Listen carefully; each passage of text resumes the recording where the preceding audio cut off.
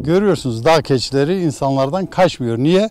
Çünkü insanlardan onlara bu bu coğrafyanın insanları onlara bir kötülük düşünmedikleri için, bir kötü bir harekette bulunmadıkları için onlar da kaçmıyor.